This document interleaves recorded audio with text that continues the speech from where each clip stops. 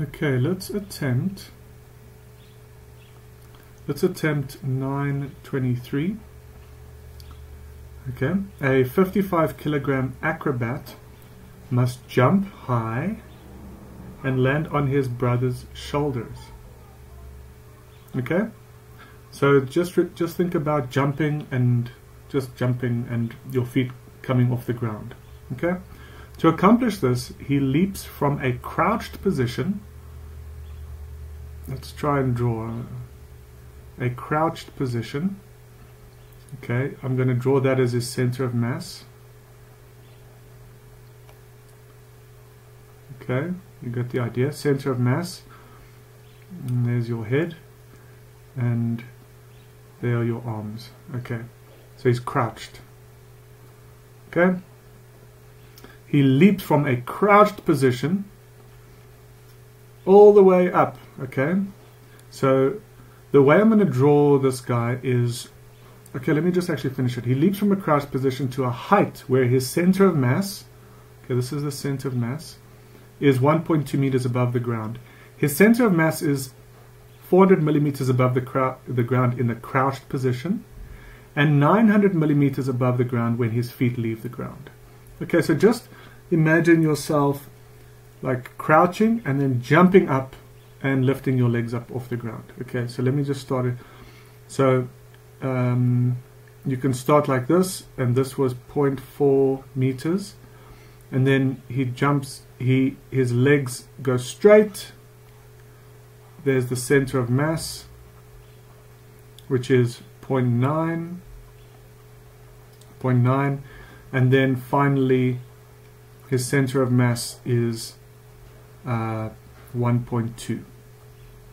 So I don't know, let's consider this to be state 1, stage 2, stage 3. Okay? So 0.4 meters in the crouched. 0.9 is this entire time from 0.4 to 0.9. His feet are still on the ground and his legs are straightening. Okay? And then from 0.9, from this point from stage 2 to 3 he's in the air okay until he reaches 1.2 okay. So we have the idea of what's happening. What is the average force exerted on him by the ground during the jump? Okay. So the way that we can look at this is the the force exerted on him him we can consider to be the center of mass Okay? So, um, forget about everything else. We just care about this center of mass that's moving from 0.4 to 0.9 to 1.2. What is the force exerted on, on him during the jump? Well, we can think of the force that's exerted on him is the force that is exerted by his legs onto the center of mass. Think about it. If you're crouching down and you jump up, there is there is the basically there is this force. Your legs are pushing on the ground, and there is this reaction force that is uh, that is really causing your center of mass to accelerate upwards. Okay, so we can think of it as there is a force, can even say of your legs, onto the center of mass. Okay? That's your center of mass.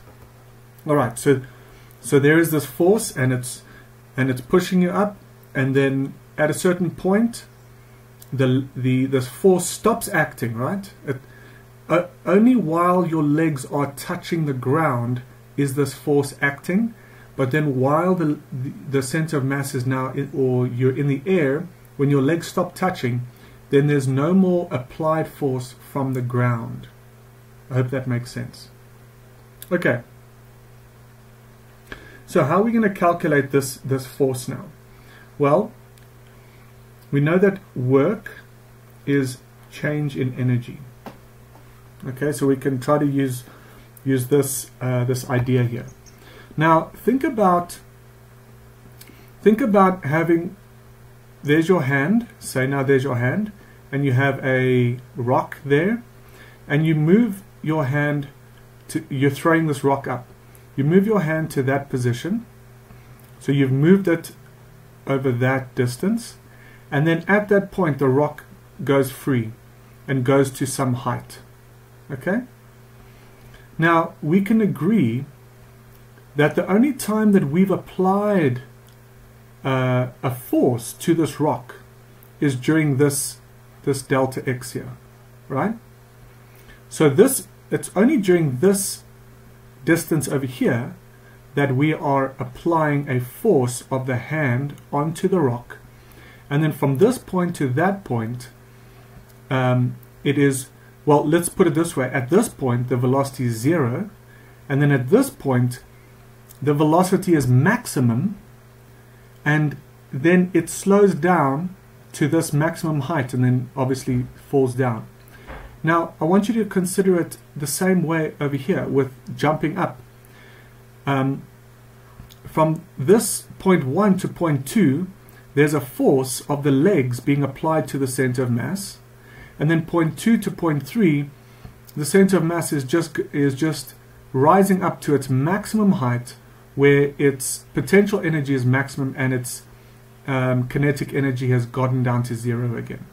Okay, so um, we can say now the work done is the work done during sta from stage 1 to 2. So it is the force of the legs. Remember work is force times displacement and your displacement x has to be what? It has to be the displacement only during this time, the, uh, uh over this distance, right? Remember this analogy, delta x. So this is x while the legs are in contact with the floor. And then, um, what kind of energy do we have in this problem? We've got two types of energy. We've got delta K and we've got delta U. Delta K is simply the change in kinetic energy and delta U is the change in potential energy. But if we consider from point 1 to point 3 what is our change in kinetic energy from point 1 to point 3? Well, we start off with zero velocity at point 1. And at point 3 we have what? Zero velocity. So our delta k, if we are considering between point 1 and point 3, our delta k will be 0. So our, the, this work has only changed the potential energy. So what is the potential energy? It's going to be mg delta x um, the entire time while it was in motion, which is from 1 to 3. Remember, it moved from 0.4 meters to 1.2 meters. Does that make sense?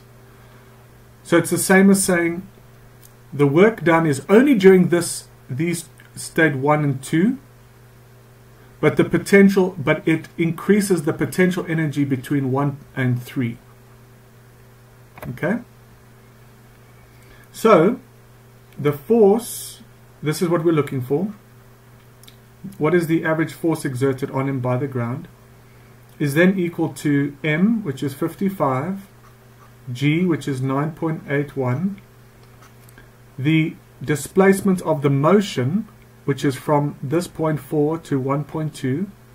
What is that? 0.6, it's 0.8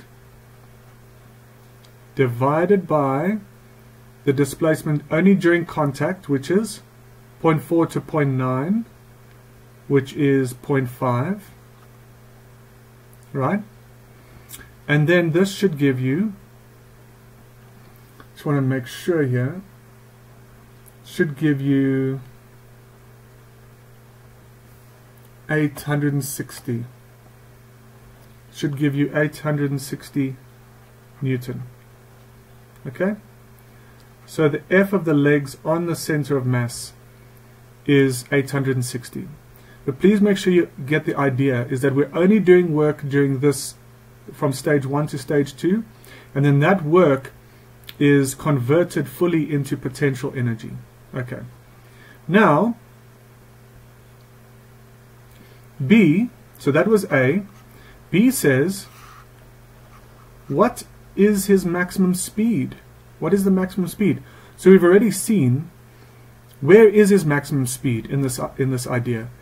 The maximum speed will be here, V max, right? Because you start start from zero, you apply, you you um, do work on this uh, center of mass, and the work stops over here. The work of the hand or the work of this applied force stops at point two, and it has increased the kinetic energy to a maximum kinetic energy.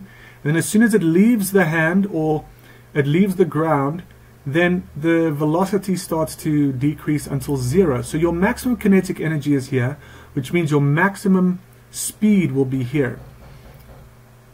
So we need to now consider exactly the same idea, but let's consider it between point 1 and point 2.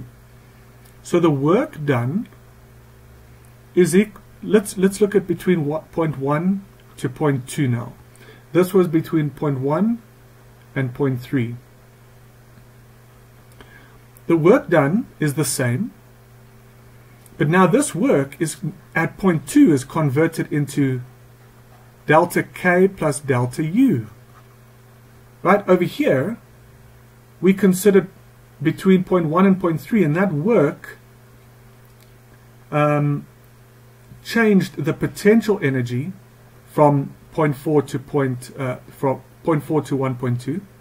But over here, we have to consider the kinetic energy at point 2 and the potential energy at point 2. Over here, we just had the potential energy, there was no kinetic energy. Over here, we've got both potential, uh, kinetic and potential. Okay, so this is half mv squared. This is the velocity over there. And then this will be, what will this be, guys? Your mgh, your, or your mg delta x. Right, it's not going to be your, your maximum height there. It's going to be mg delta x between 1 and 2. So it's going to be that change, right? I hope that makes sense. So your work, your work was simply, this work is, this, is the same in both problems. So the work is the force times x during contact. So it was, um, it's just that F legs times delta x contact. And it's the same over here. This is the same. It's contact. Okay. So this is 860 times 0.5 equals half times 55 times v squared, which is what we're looking for. We're looking for v, plus 55 times 9.81, again times 0.5. If you solve for this, you should get 2.41 meters per second. Okay? So I hope that makes sense. Um, yeah, I don't have much else to say. Good luck, eh?